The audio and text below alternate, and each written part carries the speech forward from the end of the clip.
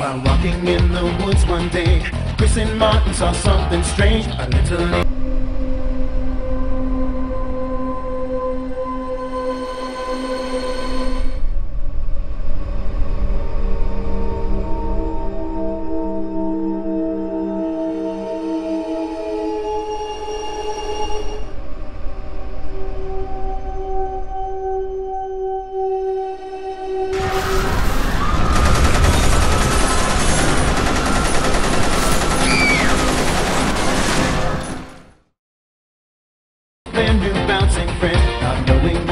adventure would end. The animals.